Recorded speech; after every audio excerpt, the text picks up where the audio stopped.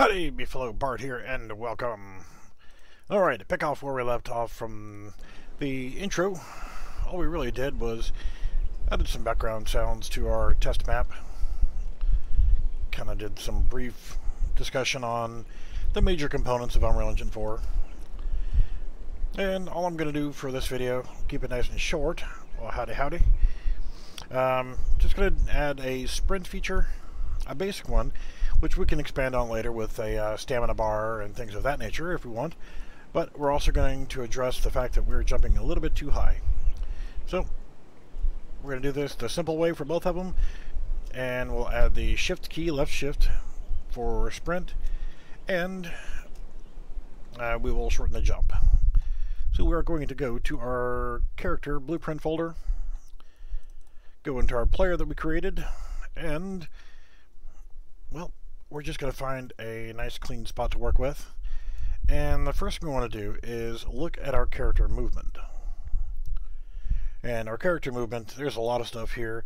The only thing that we're really, really concerned about right now is our max walk speed is set to 600. And our max walk speed crouched is 300. Well, we haven't learned to crouch yet. So let's go ahead and we're going to cut this number in half and we're going to go to 300 for our max walk speed. And then, if we hit play, we can see that we're moving a lot slower. Don't mind that little bit of jerkiness, that's just a weird artifact. So now, whenever I hit the, the left shift key, I want to be able to go faster. So, let's continue with cleaning up things first.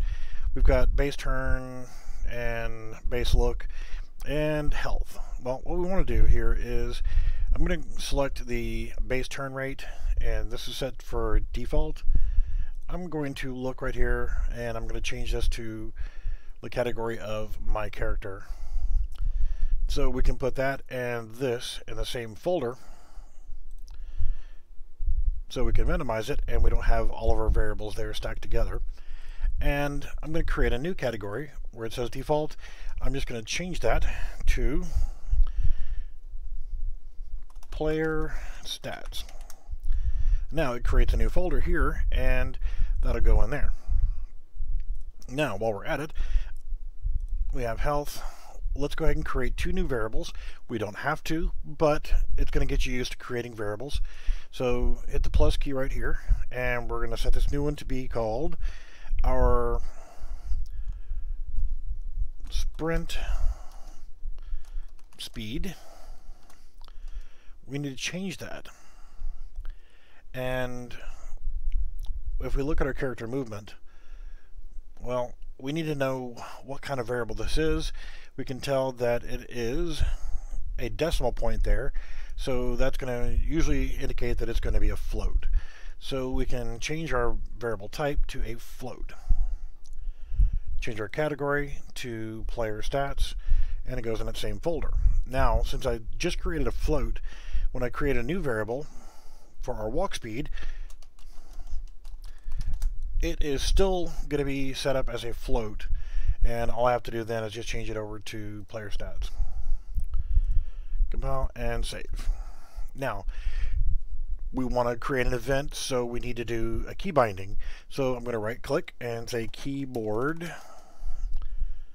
left shift, which is right here. So now when we press the left shift key, there I go doing this thing again. Y'all got to tell me to stop being a dummy and quit doing that.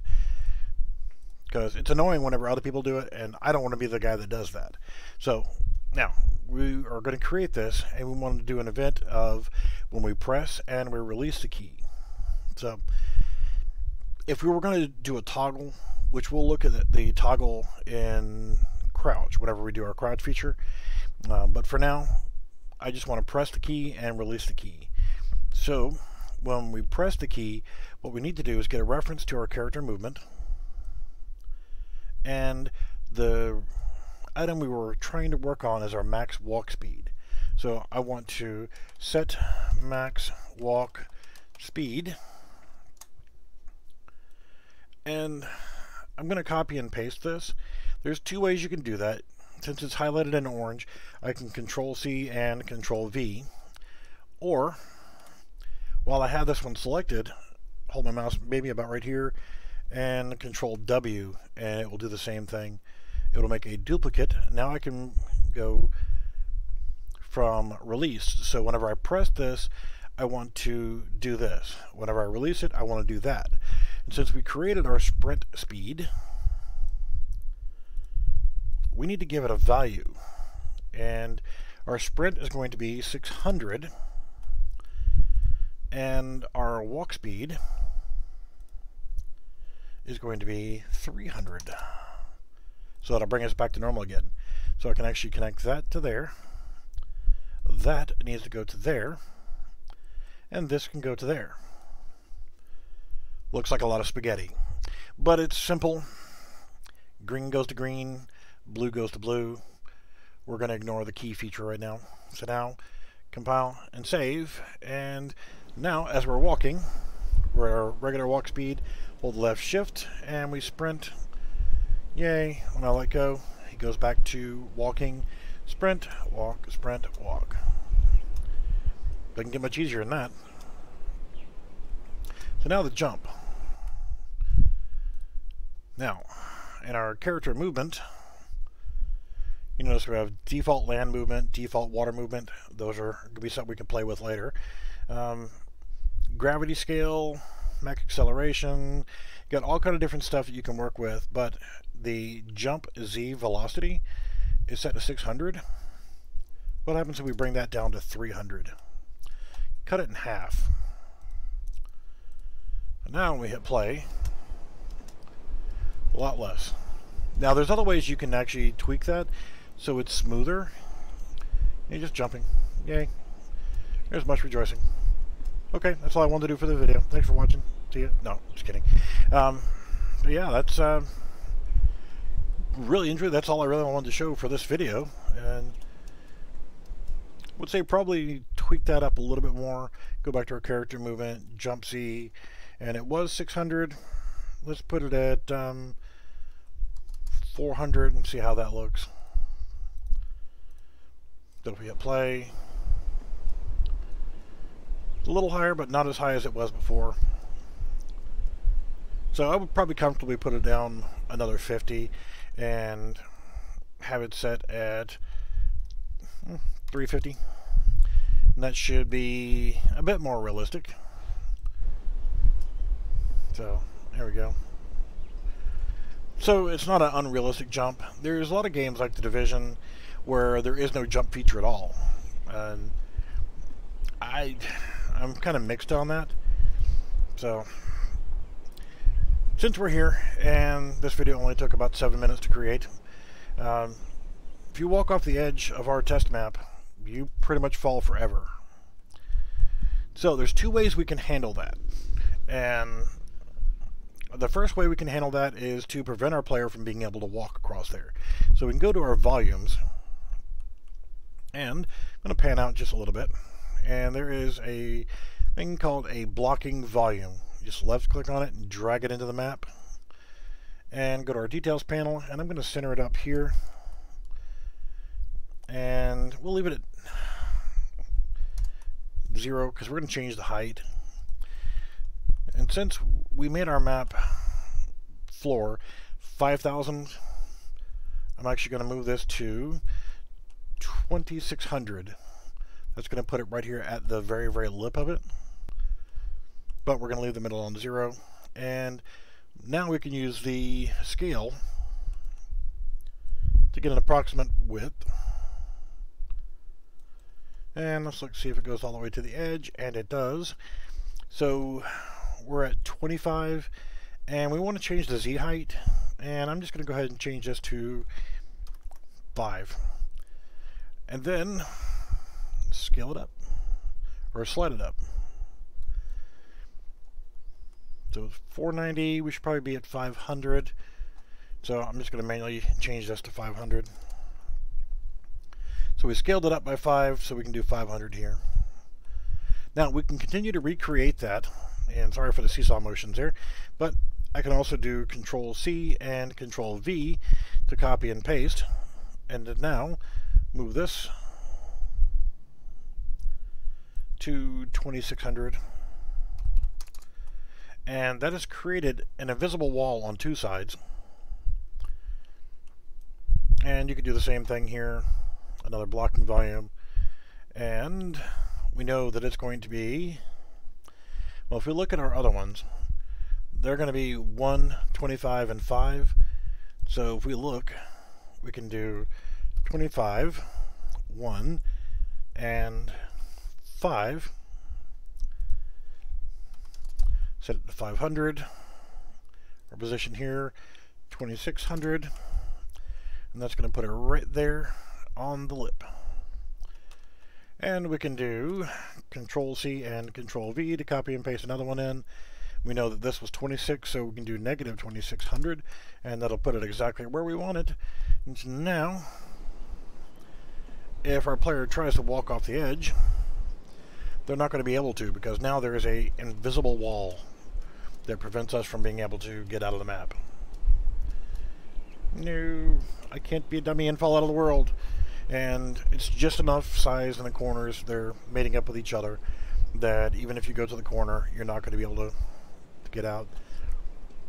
We can sprint all the way across here. It doesn't matter. We can't jump out. We can't fall out.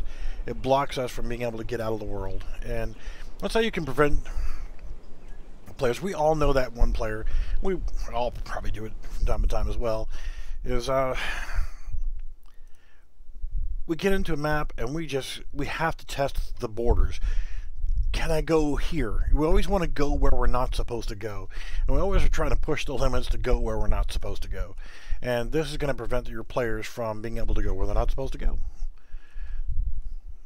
corners don't actually overlap. They can, but they don't.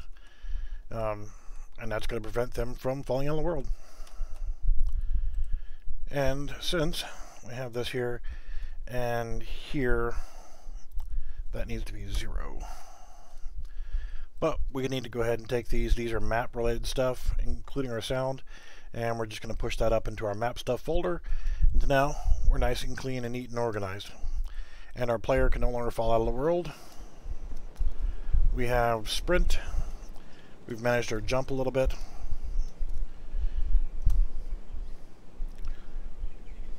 So again, 13 minutes and we've done some really good things here. Okay, so this is a movement thing. So again, movement is going to be highlighted in blue. So let's go ahead and select all that. Hit C. That's our sprint. Go to our comment color, select that, that we already pre-made in the other one, and let's just expand this down a little bit. Now, we have everything for our movement is in our movement category, and our command stuff is in our command category. I mean, we could actually come back over here and create another comment block around this command.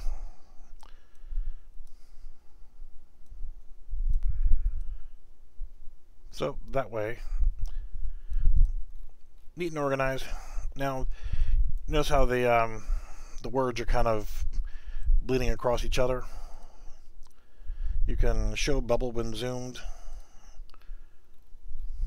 And it'll turn off those individual ones. So just click there uncheck on each of them.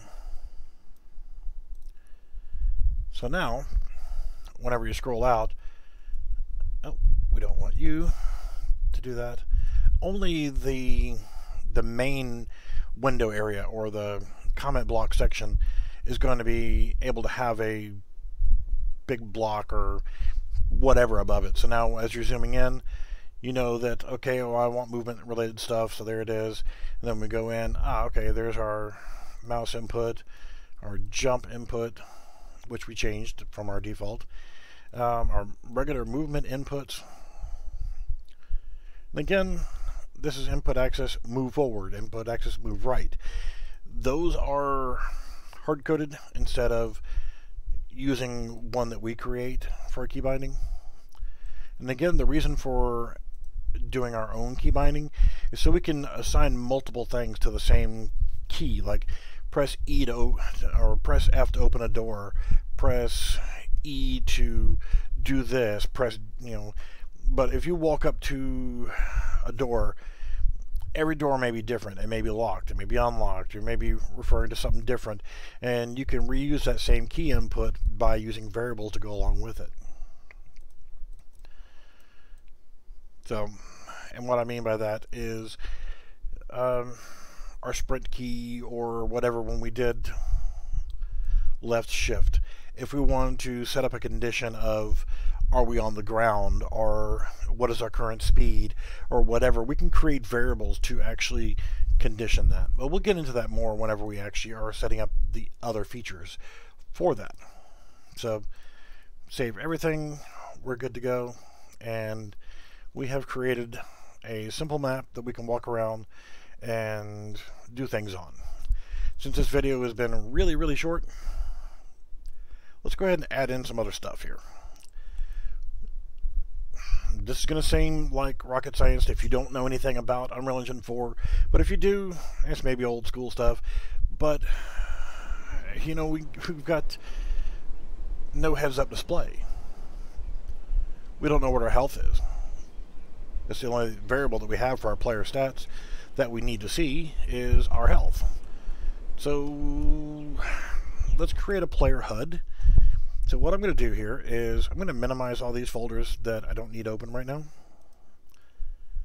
And if we look at our content, this is our root of our, our folders, our folder structure. Quick note, character. If we want to get to our character folder quickly, let's go ahead and change that to a new color. We can set color and mm, we can apply that as that light blue color. So now, if you're trying to find what folder is, oh, there it is. The light blue one is my character folder. And if I want my animations to be a different color, like orange, we can assign an orange color to it. Um, blueprints, well, that should be blue, right? A new color, let's go ahead and no red, no green, will just be blue.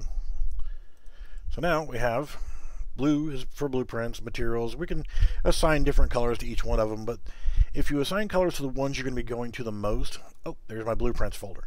Um, oh, animations. that's where I need to go. Even though we don't have anything there, we will. So that was something nice there. Um, content. What we're going to do is create our first UI or interface or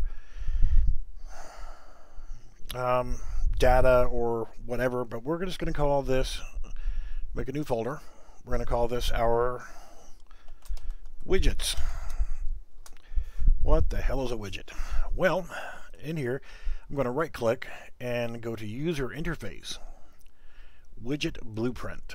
And we want this to be our player underscore HUD. A Couple different ways of doing it. I like this way. So now we hit enter. We're going to open it up. This is your screen. This border right here. We're not going to get complicated, but simply put, this area inside here, this is your screen. This is what you're seeing, your view. Um, all we need to do is create, and I'm going to put it in the bottom right hand corner. What I usually do. I do like sometimes having it up here or in the center, but I'll show you how we can actually create this, create a binding for it, and have it show up whenever we start playing. So first thing we need to do is we need a progress bar. But let's do one thing first though. Let's grab an image. Okay, and First off, you see this little sunflower thing. This is our orientation or our anchor point. I'm going to select anchor and I want it to anchor to the bottom right hand corner of my screen. Now, no matter what, it will what our resolution is or anything, it's always going to be on the bottom right hand corner of the screen. So I'm just going to position this about right there. And I'm going to expand this out a little bit. I'm actually going to make this 200. in size. And I'm going to do this at negative 50. No, I don't want negative 50. I want... Yeah, I want negative 50. And negative 200. There. Negative 250. Too much. Um, negative 220. That's good enough. Negative 210. Now, I don't want it to be white. I want it to be see-through and black. First off, compile, save. So color and opacity, I'm going to click here. I'm going to scroll all the way down over here to black and I'm going to go to A, which is my alpha, and I'm going to do 0.3. It's going to make it transparent. We can see through it. So it's going to be less obtrusive. You'll see it more whenever you're in the game, so that'll work out just fine. So now we can get our progress bar. I'm going to grab it, and I'm going to anchor it to the bottom right-hand corner as well, because if we don't, it will be flying in the air somewhere. 40 is a bit tall. Let's try it at for now 20 we're going to position this inside of our area and I'm just going to stretch it out a little bit now to see what it looks like I know I've just changed all the anchoring and positioning and all that but to see what it looks like we come down to percent grab right here and we can move our mouse over and we can see that, well, it's a blue color. Let's see, 0.75. This is going on a scale of from 0 to 1, but our health is set to 100 by preference. You can put it at 1 if you want to, and it's probably easier, but I don't want to. This is what I like. So, I don't want that blue color. So we scroll down a little bit, we have appearance, click on this, and we can change our color to 1 on red, 0 on green, 0 on blue and I'm going to use this color more often so I'm just going to drag it over here so I can quickly use it and now I can slide this around and see what it looks like whenever it's there. Now first off we're not going to see this in in the map just yet because we haven't told it to show up yet. So before we get to that point, let's go ahead and finish this and go ahead and display it and show you how to display the correct amount there. So under our percent, there's a bind button. Click on that and create binding. And I'm going to create a little bit of room to work with here. Just spread these out. And get percent isn't going to tell me what I want to do. So I'm going to select that under functions, hit F2, and say get player health. Now, you're welcome to ask questions about this, of why it has to be done like this, but this is what you have to do. Okay? We need to cast to our character. In this case, it's cast to player underscore base, or a third person character, or what have you. Now, when you do that, you're going to have an object reference. This we need to drag off from there and get player character. Just something you got to do. Okay? Now, what we're, we're able to do now is compile and save. If we look at our player character, the blue folder, here we go, blueprints, blue folder. We want under player stats, we want this variable. We want to access and get a reading of what this variable is. So in order to do that, we drag from as player base, we want to get health. And there it is right there. We want to get our health and we want to display that here. But here's the problem. This wants a value from 0 to 1. This is actually going to give us 100 why can't we just do 0 and 1 for our health? Because I don't like it that way. Yeah, I know. I'm old. I'm grumpy. I do things a certain way. So we can just drag from our health here and type in, if we don't know what our symbols are, type in float because we're working with a float. Float minus float, float times a float. Ah, division. Float divided by, we'll change this number to 100. So we're going to get basically the percentage of that from 100 and then plug that into there. So we're going to take our health, divide it by 100, and input it into the return node there. We hit compile and save, and this is how your getting your health should look. We have done nothing in our event graph. All we've done is add in a new function from there. We go back to our designer, and all we have is just that. So we're really, we're done. That's all we need to do to show our player health. There. But if we hit play, it's not on the screen. We need to add it to our screen somehow. Really, really easy. Come back to our player. And since we're working off event begin play up here, let's create another thing that I like, which is a custom event. Don't have to do it this way. You can actually just come up here and run from there and do the way we did that. And I'll show you that way in case you didn't watch the first video which you should, even though it's an hour and a half. So on event begin play, and let's give us a little bit more room to work with. In fact, we're going to make it messy at first, and then we'll clean it up. Come down over here. To continue on from when we begin to play, we remove the cursor, and then we want to show our player HUD. So what we need to do is create a widget. So create W, and you're left with that. Hit enter the widget that we're trying to call is our player HUD. And we need to get our owning player. So get player controller for individual controller. And again, we don't have to worry about this being clean. It can be as messy as you want right now. And it'll bug me until I get this finished. And then from here, I am going to add to viewport And that's it. So now I can take these right here,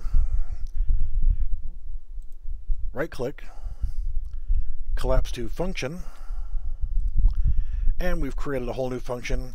And this is going to be, well, what do we do? Show HUD. Now we have created a very small, compact, clean way of um, doing this. Double click on it and we can neaten it up in here. Just because. Being neat is awesome.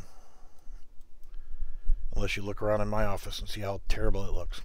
So, there we go. Compile, save, and we're done with that. So now on event begin play, if we go in here, hit play, we have our health bar in the bottom right hand corner. So now we have health, but how do we know it's correct? It could be wrong. Well, let's go back to our content folder and let's make another new folder. We're going to call this one Gadgets. This is going to be our stuff, our custom things that we create. And inside there, blueprints. And the first one we want to create is going to be a blueprint class. And it is going to be an actor type. You're going to have a bunch of different ones here to work, work with but we just want to create an actor. Anything you place into your map essentially is an actor. We're going to call this our pain underscore pad because we can't use spaces. So a pain pad, we're going to use this to test to see if our health bar works. So what I want to do is click on here so I have nothing selected. I'm going to add a component of a cube and this is going to be our base pad it doesn't look much like a pad. So let's change our scale and Z for our height to 0.1 and then compost, save, and click off of it. And then we're going to add another component which is going to be called a box collision. We're going to call this our um, pain zone. Call it whatever you want And I'm going to change the scale to 1.5 because I don't know why it had to be that way by 1.5 by 0.5. And I'm just going to move it up a little bit. So what we've created here, this box collision, is our our collision zone. So we're going to compile and save. Go into our event graph. We don't need any of those things, so delete them. All right. Compile, save. Now, if we right click on our pain zone or our box collision, add event, come down over here, on component begin overlap. So when our when something overlaps, what is going to overlap? Well, we want our, our player character. Um, or any character. If we want any character, which is a player or AI, to trigger this event, we can just do cast to character, and any character that steps on this is going to receive pain. They're going to receive damage. So we go from our executable, and we're going to apply damage. Simple enough. The amount of damage that we're going to create, I'm going to do this one more different way here. Just create a variable, damage amount, and we're going to change this to a float because our, our unfortunately our, our damage is set up as a float. So compile and save. And let's set it initially to do 25 damage. So compile and save again. We're going to hold down the control key, left click, and drag it into our scene, and then plug in our damage amount to the base damage, and drag from our other actor all the way past this right here to connect to here. But let me show you something really quickly here. As you're starting to put things in here, these spaghetti lines will start going all over the place. So drag from other actor and type in node and that's going to give you a reroute node. There is a hotkey for that. I just forgot. But node to add a reroute, reroute node. Now what we can do is select it and we can move these dots around to kind of organize them a little bit and then I can connect that to here so we keep a cleaner path of our our spaghetti to get to our different uh, sections there so now anytime we overlap this with our player it's going to do that we could add a particle effect or an emitter we can add sound to it um, if you want to those are all things that we can add because whenever the player when something is overlapped. In this case, a character overlaps the pain zone. We're going to apply damage. We could also play sound at location. So if we did play sound at location, we could add in our explosion cue. Location we'll get in just a moment. And we could spawn emitter at location. And the emitter that we used before was our explosion. So we need a location. So we can actually grab a reference to our base pad. Just left click, drag it in here. And let's go ahead and get world location. Now we can plug this in here and plug this in here. If you want, you can add a reroute node in there. And oh, how do I get rid of it? I can hold down the control key, left click, and drag it off from there. And I'll just come over here and I'll put in a reroute node. And let's put it, sure, looks good. And then plug it in there. I mean, you could just highlight it and put it wherever you want. So it's nice, neat, clean, organized. It's going to now play a sound and play an emitter when we intersect over the top of it. Now it's not going to damage our actor just yet, But let's go ahead and put this into the map. I'm just going to drag it, the blueprint directly into the map. And I'm going to 0, 0, 0.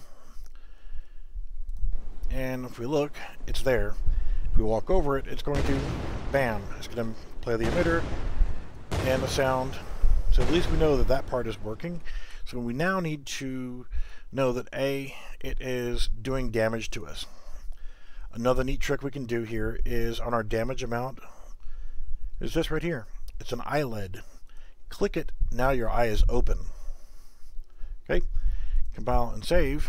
Now if we click on our pain pad, we have a variable here. If we step on this, it's going to do 25.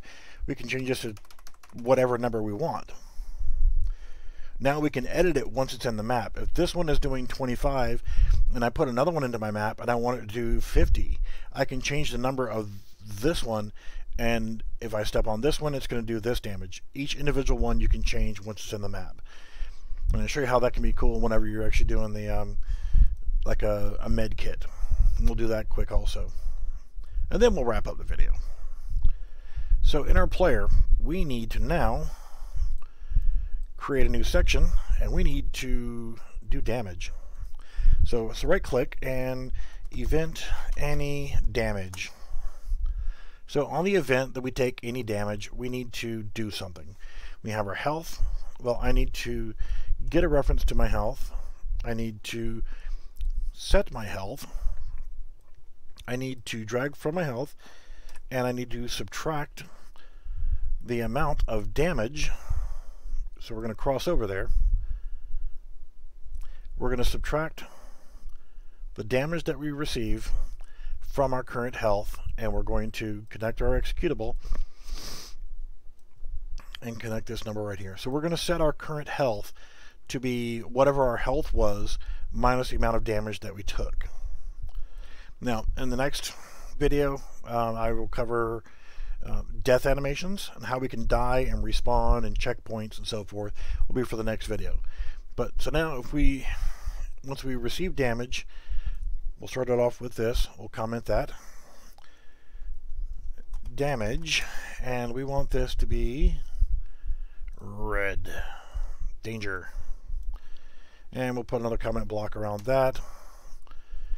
And damage systems. We select that again, undo our check mark. So now we can quickly see that this is our damage systems and there's our damage.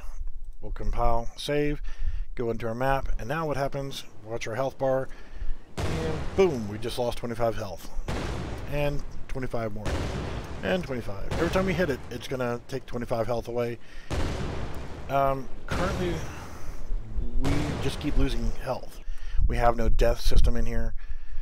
So one thing you need to do, and we'll do really quickly before we wrap up this video, said, the next video will actually cover death. Okay? So I want to keep these videos under an hour for each one, even though I could do this in 10 minutes, be done with it. We just want to have minimals done here. Okay, so if any damage, get our health, but we need to set a condition. And we could use variables. I'm not going to at this point, but what we're going to do is drag from here, and I'm going to hit the equals, equals, not, wrong one, sorry, equal, equal, and it came up with vector. I don't want vector. Equal float. Well, if it's equal to zero, then at this point, we're going to do it like that. If it is equal to, or you can actually drag from here. And if you want to see if it is, you know, if you're creating your death condition, you can do, um, is it less than or equal to? So if you if you're less than a zero, mm, okay. Well, let's do it this way. We'll do less than zero. If it for some reason goes to less than zero, then it's a question, so we need a branch node. Plug that in there. So if it is less than zero, eh, why don't you line up? You suck. Then we need to do something. And in this case, all we're going to do is set our health to zero. This is going to prevent us from ever going below zero on our health. So we have our, our minimum cap. So even though I may step on this thing, or I can step on it and jump, right now it'll never go below zero. So you could always put in here when you're doing this, you can do a print text and tell it to print the amount of health if you wanted to. And that's just as simple as drag from here, print text, and we'll take this, plug it in here. It's green going into pink. It is a text, so it will automatically give you a to text conversion, and it will just keep every time we. Oh, let's actually do on false. Let's drag there also. So no matter what, when we get to this point, it's going to print text. Not important at this moment, but now look upper left hand corner of our view screen. It's 75, 50, 25, 0, 0, 0. It'll never go below 0. So quickly, let's go ahead and make a quick health pickup. So I'm going to right click, blueprint, actor, med kit and not going to do anything fancy with uh, our meshes or anything right now. I'm just going to go ahead and put in a cube. I'm going to scale it.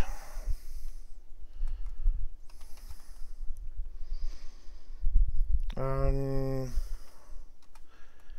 let's actually change that to that. And if we had another material like red or something like that we wanted to use that's that's cool. Uh, I'm just gonna make it gold. I don't care. Just something to be different. And it's gonna be first off let's throw this into the map as you can see it's just gonna be sitting on the floor.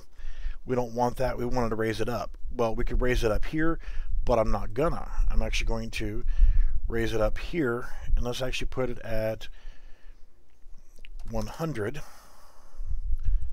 hit compile and save and look at it in the map now. Hit play walk over here and we can see that it's there.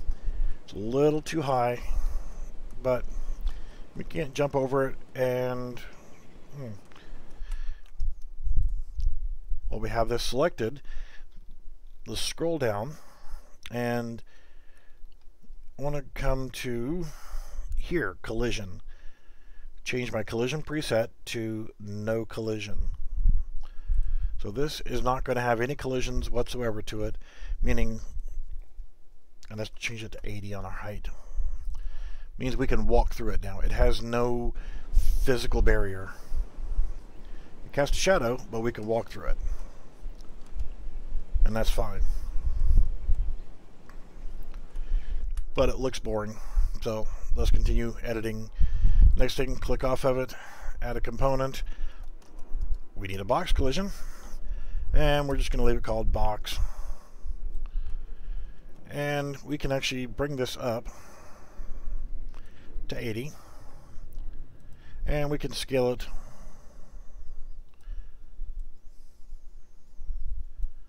to be pretty close to the size of our object.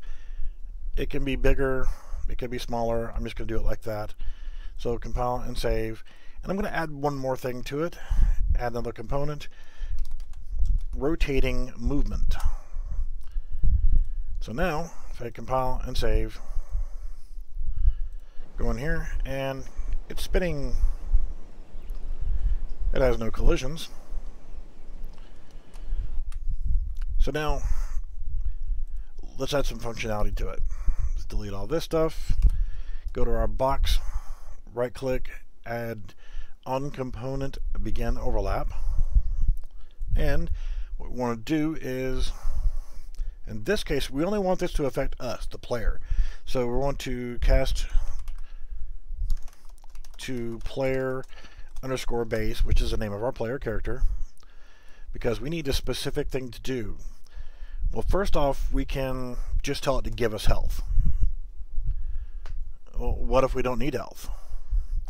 So let's get a reference to our health. So now, does our player actually need the health? Well, okay. We get our health, and what are we going to do now? Huh. Let's see if float, well, let's do less than. So if it is less than 100, and it's a question, so we need a branch node. Plug that into here. Plug our executable in. So now we're continuing on with this question. Is our health less than 100? If it is yes, then we need to do something. If it's false, we don't want it to do anything. Because that would mean their health is 100 or higher. So they don't need anything. So let's go ahead and get a reference to our health. And then we also want to set our health. And let's go ahead and create a new variable, heal amount, and make that into a float. And what we're going to do is get a reference to that. We're going to compile and save our heal amount let's go ahead and expose it so we can actually set that in here. And we're going to heal by 20. Whatever amount we want. So what we're going to do is we're going to get a reference to our health. We're going to add, or float plus float, the heal amount to our health number. And we're going to set our new health to be this but we need to set a cap on there. So we're going to get this new number and we're going to ask, is it greater than 100? If it is greater than 100, then we need to come back to our player and set our health to 100. So, the next point is to go ahead and test it out. Now, we don't need it, so nothing's going to happen. We could walk through it all day long. Nothing's going to happen. But, oh no, we took damage. So we come over here and we healed up, and it'll just keep healing forever as long as we're standing there, you know, more or less. So we don't want it to do anything. So we're going to do all this, and then at this point, we're going to destroy actor. We're going to destroy it. We're going to blow it up. Well, we're just going to make it go away. So now, if we come over here, if we don't need it, nothing happens. We do need it.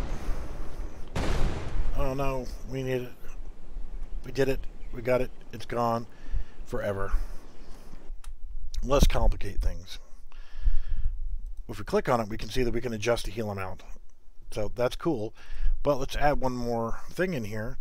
And new variable can respawn. Do we want it to respawn or not? It's a yes or no answer. So it needs to be a boolean. Can it respawn? So let's drag this off from here. In fact, let's go ahead and delete it for now. We'll add it back in in just a moment. But we've gotten to this point where get to that. So we're asking a question. Branch can respawn. Can we respawn? And here's the cool thing about it is let's click the eyeball and now we can set that. If we look here we have a checkbox now for can it respawn yes or no. If it is unchecked no it cannot respawn. If it is checked it can respawn. So now we can set this one we can control C and control V and let's move it over here. I didn't change my snapping back to 10. This one can respawn. This one cannot. We use it once, it goes away. This one, we use it once, it disappears, but then we want it to come back.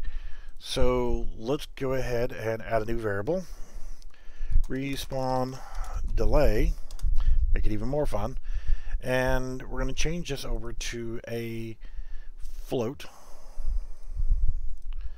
Now, if we cannot respawn, then we can go ahead and destroy our actor. So if we're not going to respawn, it just gone, doesn't come back. But if we can respawn, what we want to do is create a condition. We want it to disappear, but we have elements to deal with. So I'm going to first off grab a reference to my cube. And if we're going to respawn, first thing I need to do is set visibility. I want to make this guy vanish. So we'll leave it unchecked. And I'm going to leave this as an example here. And we know that this one can respawn if we use it. We haven't set up anything else in there. Um, let's go ahead and hit play. And I'm going to do some damage here. Okay, so we use this one. Poof. It's gone forever. But it healed us up all the way. It shouldn't have. But we'll fix that later. Go over here, and it heals us back up. It didn't respawn. The problem is this box collision also. Um, forgot to show that here. Uh, if we come over here and we use this, we get healed back up. Even though it's not visible, we're still able to use it. Even though it's invisible, the box collision itself, we need to do something with that as well. So we'll grab a reference to our box collision and set collision enabled. We're going to leave it default to no collision. And then we're going to add in a delay. And since we already have that, we'll get that. Plug that in. Our uh, respawn delay will set to 3 seconds. So now, after 3 seconds, we're going to essentially do the same thing, but we'll reverse it. Plug this in here. We're going to set visibility of our med kit. In this case, just a pure cube. Change visibility to true by checking the box. And then getting a reference to our box collision. Plug this in. And we want to set collision enabled, query in physics. So now what's going to happen is that one will never come back. This one will come back in three seconds.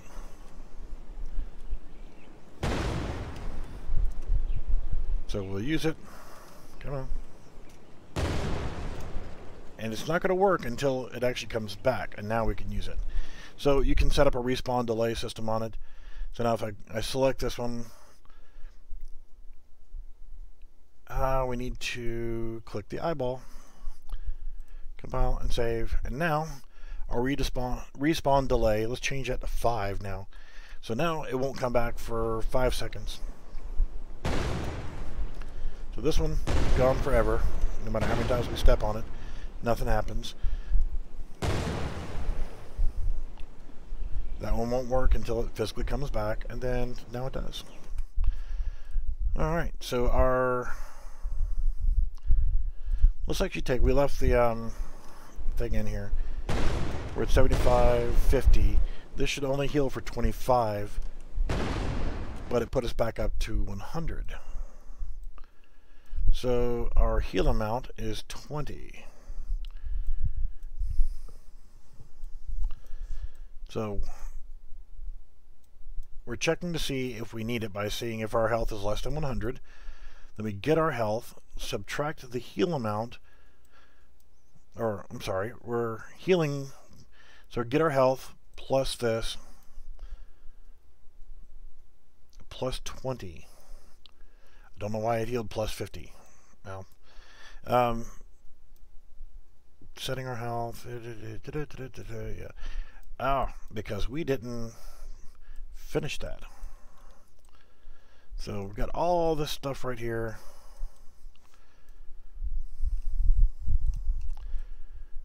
We need to move that over just a little bit. We forgot a branch node. So we ask the question, set it to there. So if it is greater than 100, then set it to there. Now, if it is not less than, we need to skip past there and go to here. So to make it neater, I'm going to come down here, add in a reroute node, and just kind of move it around a little bit. Drag from here. Just type in node and hit enter. There's a hotkey for that. I just not remembering it. We're going to plug it directly in here. So we're asking, is it greater than 100? If it's not, then just go ahead and do this stuff. Finish handling the rest of our business. But if it is, we need to set our health to 100 for our player, and then we can continue our business. So that's going to now fix our little bug. So we're at 25 health. We recovered 25 health only. Thank you. So we're now at 20 health. Use that. And there we go. Respawns. Boom. And get it. We could have told it to print our health if we wanted to, but we can see our health bar. You can add a power-up sound, like, ooh, you know, whatever sound you, effect you want whenever you gain your health. So now this one's just going to keep respawning every five seconds. You can set it to 500 seconds, whatever. Um, you could set your variable heal amount. If you wanted to, you could actually um, create a binding and all kind of fancy stuff. So you can see this med kit gives me 50, this one gives me 25. And that will be simply, you know, add another component, text, render. And we'll just leave it at text render. We'll get this, compile, save, and we need to know what to put in here for our text. But first off, let's go ahead and get our text in the right location. Change it to center. Just put it right there. Compile, save. So now when we look at it, we'll just see the word text right above it.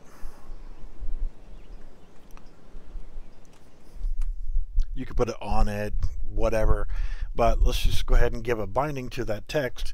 So how do we do that? Hmm. Well, let's go to our event graph and let's do right click, event begin play. So when we first start off, get a reference to our text render and we need to set our text. So set text. What are we going to put in that text? Well, we want to get our heal amount. And we want it to go in there. Smooth this a little bit. Now we can plug green into pink. In this case, it gives us an automatic conversion of float to text. So now it is going to put our heal amount on begin play, we can see that it does 20 um, healing. If this one does 50 healing, we hit play, the left one does 20, the right one does 50. It's just a neat little way that you can um, identify your healing if you want to and put a, a physical number on it. You can put it on all sides, you can put it wherever you want. But you know what? It's a good way of saying, hey, well, I want to get the little med kit or the big med kit or whatever, and they're just going to work. They're not going to work if you don't need them. So I need it. Oh, I just got damaged again. Oh, got damaged again. Oh no, I'm about to die. And there we go. The most effective way to learn blueprint programming is to watch all of my videos. Um, that and just experiment. I mean, seriously, it, it's one of those things where... I'm to get rid of these two now. It's only as complicated as you really think it is. Variables. And that's why I, I you know, mentioned the 7P method. Proper prior planning prevents piss poor performance and it's just that. Um, if you think and you break it down, what am I trying to do? I'm trying to receive damage here and handle my, my damage handling event. So event any damage. Well, what am I going to do with that? I get the damage that I received and I need to subtract my health from there. So that's cool. But I need to see if our health is less than zero. And if it is, then I need to cap it at zero, so it never goes below zero. But then if I want to set up a death, which I'll do that in the next video, um, do an actual death event, then I can actually come over here and create another thing that I love doing, and it's custom events. Instead of functions, I can right click and type in cust, and it's going to already have it highlighted, add custom event. And this custom event that I want to create is called Death. And now, anything that I want to run off of this will happen.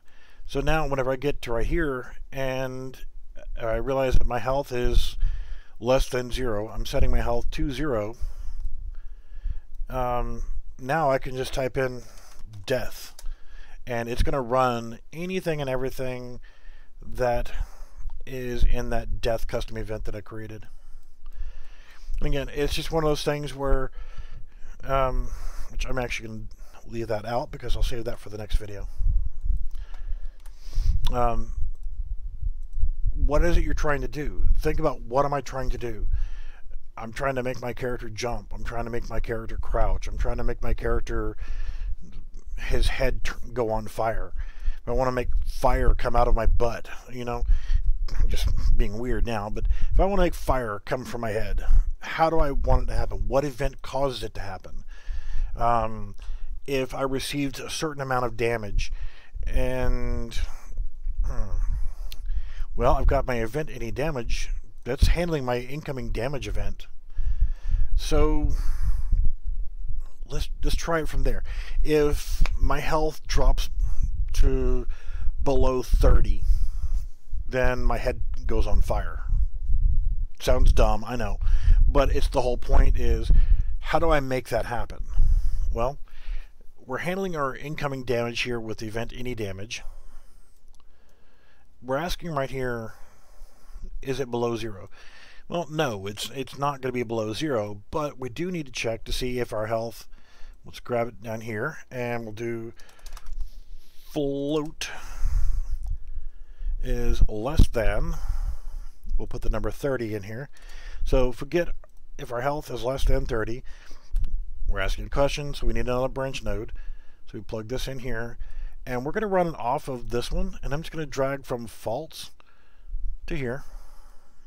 So if it is less than 30, then let's go ahead and create that custom event.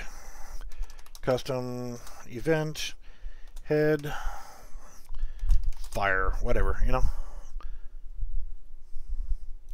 So then we can actually do, if it's less than 30, we're going to run that custom event. So now, whenever our head goes on fire, we need to spawn emitter at location or attached. We could actually do attached if we want to. But in this case, I'm going to do spawn emitter at location and I'm going to show you how you can get the location for your head Um, there's a couple different ways of doing it. Simplest way is grab a reference from our mesh, which is our, our player character, our, our physical embodiment, and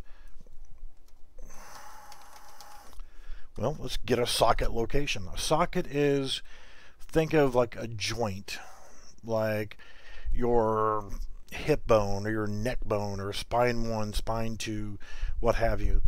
And we're going to do fire. So what is the name that we need? Let's go to our actual player mesh skeleton and look. We have all these different things right here to, to look at. Well, we can click on our head and see, okay, head, neck, Let's do head. And, hmm. It's going to put it right in the middle of our head, and that might be okay. And this is going to come in handy if we want to add a gun or a sword or a knife or a weapon to our hands. It'd be the same basic principle here. I'm going to select head, and I'm going to right click on it, and I'm going to select add socket. And then I'm going to click on that socket. We don't want to call it head socket. So let's hit F2 and call it fire underscore head. It's our fire head. And then I'm going to go to my transform for moving it. And I want it to come up to right here and spawn at the top of our head. That's where I want my fire to spawn from. Let's actually move it to right there. So now we actually have a location for it to go to. Let's hit save, and now we have a custom socket for our head. If we were trying to apply a hat, it would be the same thing by having that socket there. And if you want to see how it looks, you can right click and add preview asset of fire or of a mesh or whatever else. So this is what it's going to look like whenever we actually um, do it. So I'm going to hold down on my left mouse button and then hit delete and I'm going to get rid of the, uh, the emitter in here. So it's save and close that. And now we need to use that and you need to know exactly what it was called and ours was exactly called fire underscore head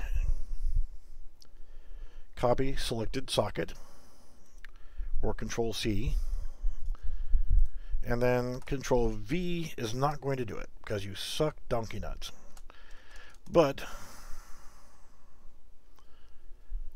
we know that it's capital F. Let's just get rid of all this crap. Capital F for fire and capital H for head. So firehead is the name of our socket for that to, to go to. The best way to do it is just remember what it is and copy it in there. So make sure we go ahead and do a save all, get everything saved. And let's look at that. So if our health is below 30, we're going to set our head on fire. And it's just a matter of, you know, think about what you're trying to do. But, oh no, guess what? It spawned there, but it stayed up in the air. It didn't stay attached to our head. So how can we make that stay there? Well, instead of spawning it at a location, let's actually spawn emitter attached. We want to attach it to something. The location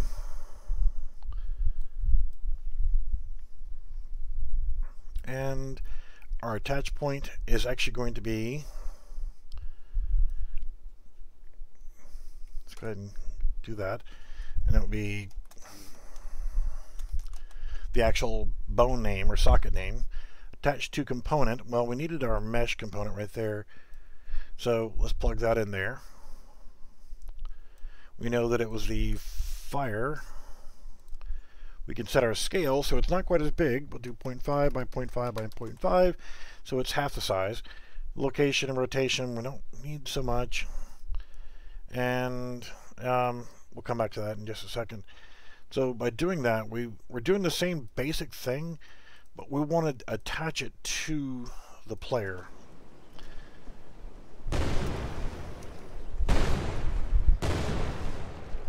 So now it's attached to the player's head and it'll stay there. Ah. How do you get rid of it? Well, that's a different story.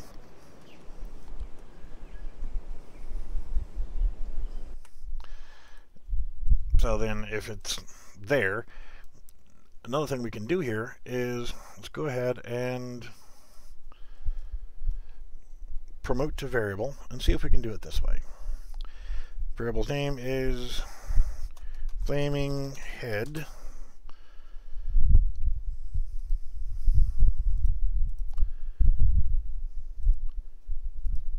And it's a reference. So we get our flaming head reference.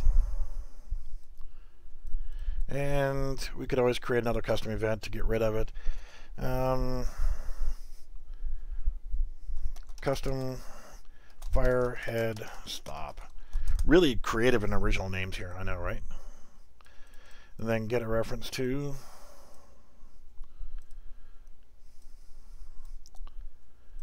and hmm.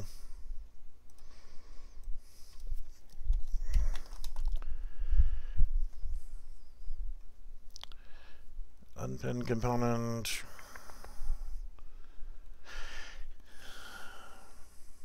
deactivate probably um,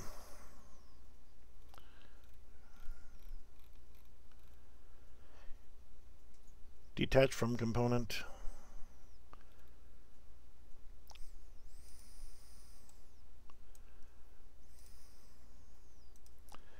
um yeah I don't um, let's try deactivate. Probably not going to work, but you know what? Whatever. So we need a condition of what happens now to get that. Um, so we can grab this right here and say if it is greater than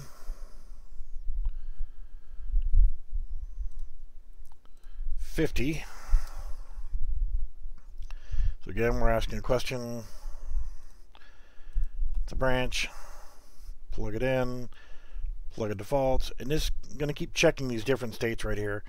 And we call this one Firehead Stop. Really creative name. And we'll try Firehead Stop. I'm pretty sure the deactivate's not going to work for that component, but I'll have to try to remember what the actual was. So there, we're on fire. And yes, yes, I know it didn't work. Um, we also forgot in since we added in the um, in the gadgets, we added in the floating text. We need to come back over here and make it go away as well.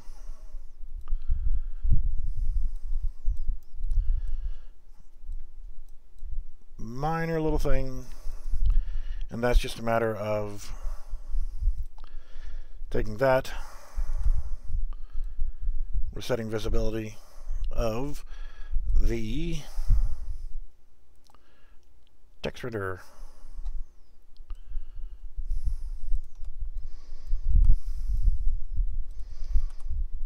and just plug it back in here as well and turn it back on. So that was a minor little thing there. And it did not like the fact that um, use deactivate.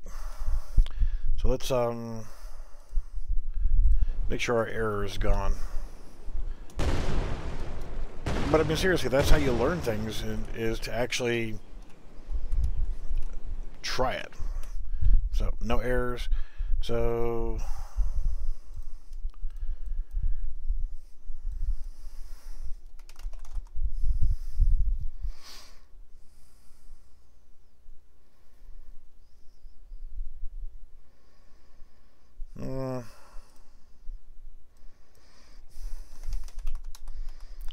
destroy component. And again, I've never tried this before, so yeah. There's other ways of doing it, but doing it this way, I've never done it, so you know what? I'm going to try it. And that obviously did not work. Come on, you respawn. There we go. And it did not like it. Error, destroy component. Let's dump you.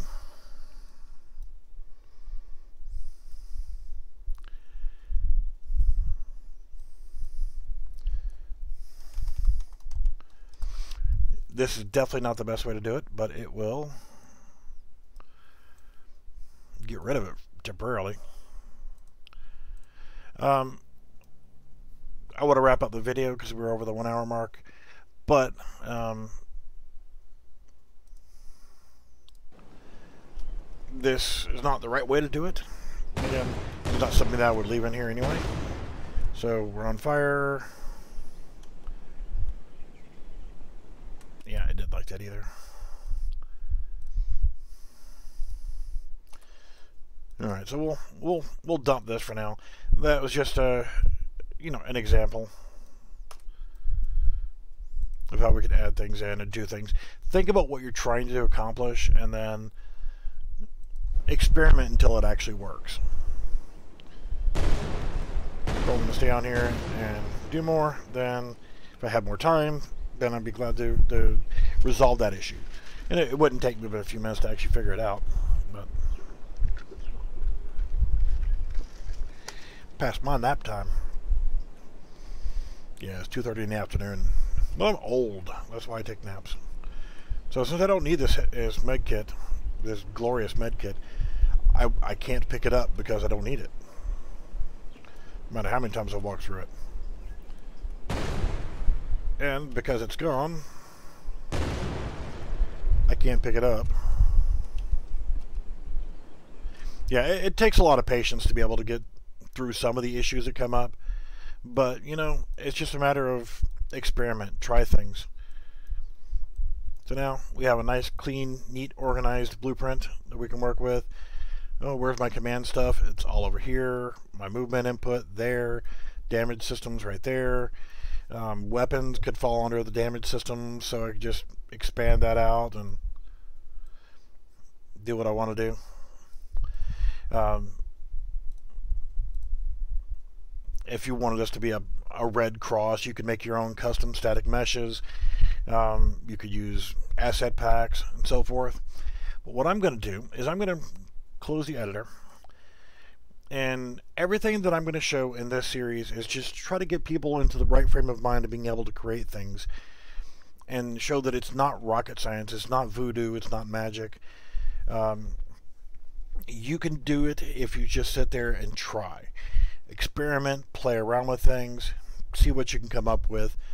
But if you have issues, go to a Discord channel like mine and ask questions. Um, go to Unreal Slackers, go to other uh, Discord channels, and actually check things out.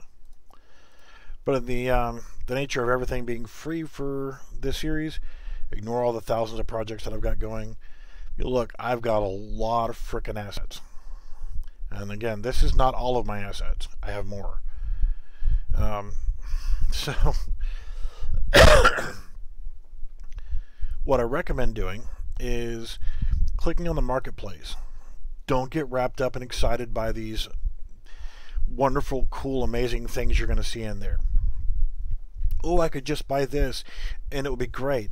Oh, look, I can get this advanced weapons pack and, and it'll and everything will be great. No, not always. Um,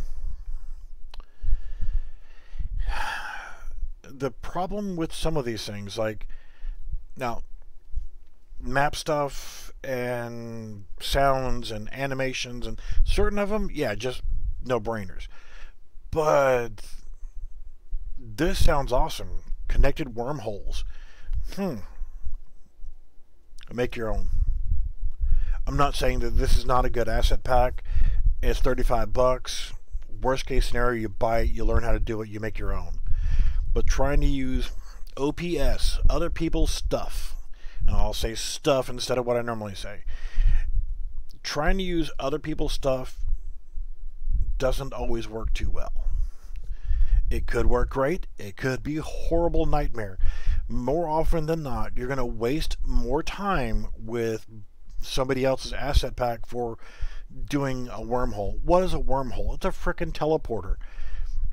I've got videos out there showing how to create teleports. Um, when we do our death system on the next video in this series, it's going to actually show how to respawn and it'll be a checkpoint system as well. So you can clear checkpoints and if you die you go back to the last checkpoint you went to.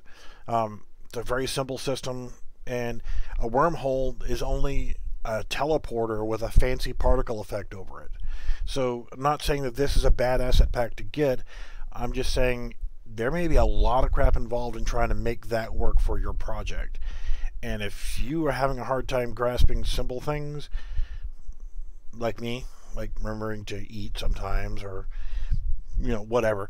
Um, yeah. So sometimes it's more difficult to try to integrate somebody else's stuff into your own project. Um,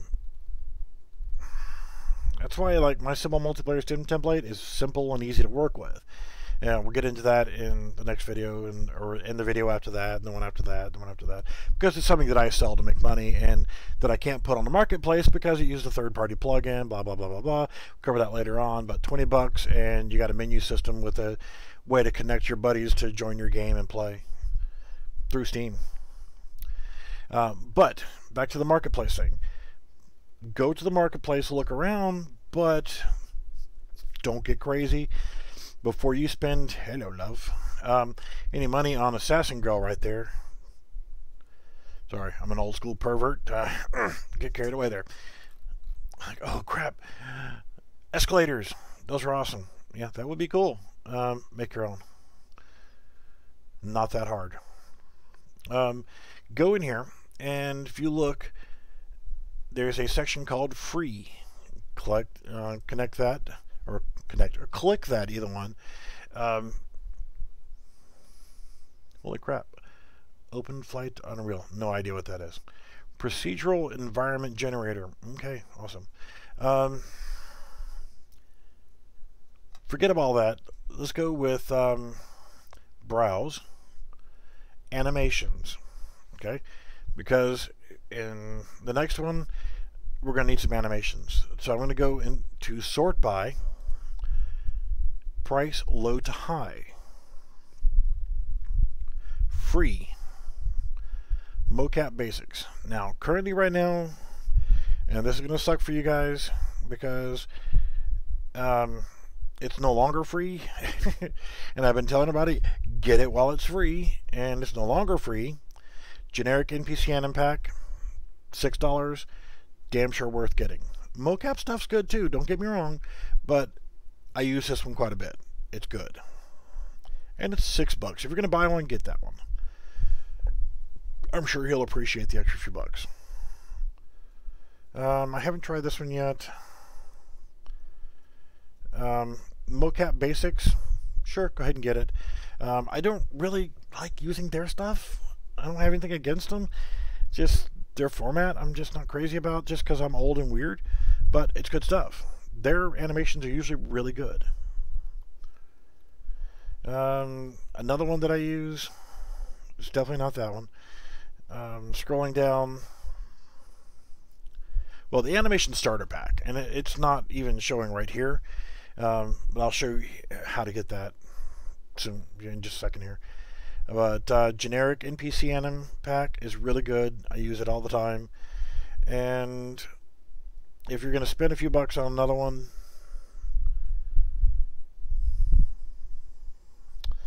well, it'll take me forever to, to sort through it. But the animation starter pack is another one that's free that is a definite must have. If you go to free Epic Games content,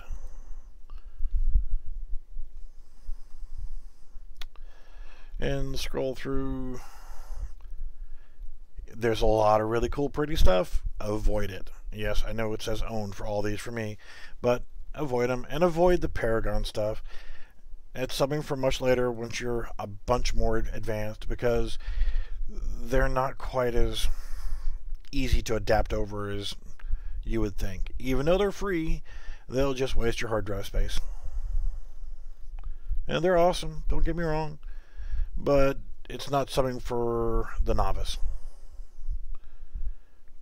Well, anywho, um, just type in here animation starter because you want the animation starter pack and it is from Epic Games and it is free so get that one this is one that we're going to be using quite a bit for the animations and we're going to be using some animations from this pack in the next video so it's free you might as well get it and while you're at it if you want to browse other free stuff um, everybody likes guns. Everybody wants weapons.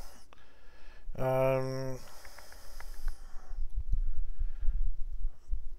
they used to have it specifically separated. But check through the, you know, get those two animation packs that are free. Um, yeah, used to have weapons as a separate category.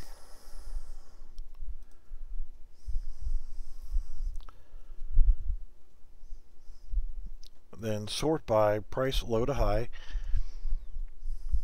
And there's some stuff you can take a look at. Broadcast Studio. I haven't looked at that one yet. Huh. Okay, this will be a good example because I kind of want that one. And I hadn't seen it before. I've got that one, the, the movie props. You can see owned on a lot of these. Sci-fi cockpits, the industry props pack. There's some really good props in here and some other stuff like that that are easy to work with and good to use. So you find stuff that you want that's free. Go ahead and add to cart. And then when you're you're done sorting through all the stuff that you want for, to get, go to your shopping cart, and this is for getting it free. It says zero right there, and then hit checkout. If you haven't already set up a credit card with with them, you can. In fact, the, the credit card that's associated with my account um, has been cut into shreds, so that number doesn't even exist anymore, thanks to some ass clowns stealing their freaking debit card information.